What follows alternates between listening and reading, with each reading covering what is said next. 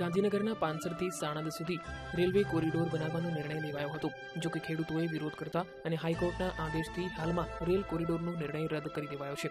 કેન્દ્ર સરકાર દ્વારા જાપાન સરકારના સહયોગથી દિલ્હીથી મુંબઈ સુધીના ડેડિકેટેડ ફ્રેટ કોરિડોરનો રેલવે પ્રોજેક્ટ અંગે નિર્ણય લેવાયો હતો.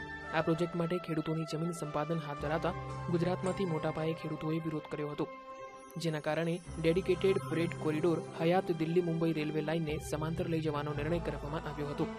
જો કે પ્રોજેક્ટ ઓફિસર રંગાવતે રેલવે મંત્રાલયના નિર્ણયને અવગણી પાંસરથી રેલવે લાઇનને સાણંદ તરફ ડાયવર્ઝન આપ્યું હતું.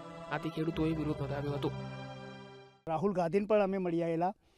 અને એમણે આ રીતે હુકમ કર્યો અહીંયા રંકાવતને કે પેરેલર શક્ય હોય એટલી બનાવો અને ખેડૂતોને બચાવી લો. તે છતાં એ લોકોએ સાંભળ્યું નહીં, એટલે છેવટે ના છૂટકે અમારે ઇન્ડિવિડ્યુઅલ ખેડૂતો જોડે સોગંદનામો કર્યો કે અમે કોઈ સંજોગોમાં જમીન આપીશું નહીં અને કલેક્ટરને રજૂઆતો કરી. એટલે પછી એ બધા કલેક્ટરના લેટરો આવ્યા. એ લેટરો બધું ભેગું કરીને અમે હાઈકોર્ટમાં ગયા. માન્ય હાઈકોર્ટે અમને સ્ટે આપ્યો અને સ્ટેમાં આજે અમે એનો વિજય થયો છે.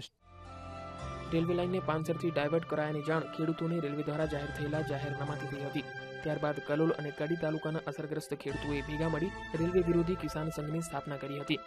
વર્ષ બે હજાર બારમાં આ અંગે ગુજરાત હાઈકોર્ટમાં જાહેર હિતની અરજી કરવામાં આવી. આથી કોર્ટે સોળ ઓગસ્ટ બે હજાર બારના રોજ જમીન સંપાદનની કાર્યવાહી પર સ્ટે ઓર્ડર આપ્યો હતો. તો મારી લગભગ સાડા ત્રણ કરોડની જમીન આ અસરગ્રસ્તમાં જતી હતી.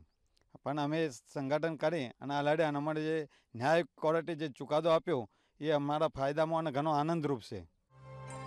પાંસરથી ડાયવર્ટ થયેલી રેલવે લાઇનમાં કુલ છવ્વીસ ગામની હજારો વીઘાથી વધારે જમીન અને ચૌદસોથી વધારે ખેડૂતોને અસર થઈ હતી. જેમાંના બાર ગામના ખેડૂતોએ સરકારી અધિકારીના મનસ્વી વલણને કોર્ટમાં પડકારી જીત હાંસલ કરી છે. આ ખેડૂતોને અત્યારે ખેતી ફળદ્રુપ જમીન છે અમારી અને એ જમીનમાંથી જો બચી જાય તો અમારા હજાર, એક હજાર વીઘા જમીન અત્યારે લેવા જઈએ ક્યાંય મળવાની નથી. તો એ ફળદ્રુપ જમીનના અનુસંધાને અમને ખેતી સારી થાય. પણ ખેડૂતની જમીન એટલે એક વીઘો જમીન જાય તો ખેડૂતનો એક દીકરો મરે સમાન થઈ જાય. પણ એ જે હાઈકોર્ટે ચુકાદો આલ્યો એ અમારા માટે ખૂબ અગત્યનો અને ખૂબ લાભદાયી છે અને હું કોર્ટનો ખૂબ ખૂબ આભાર માનું છું.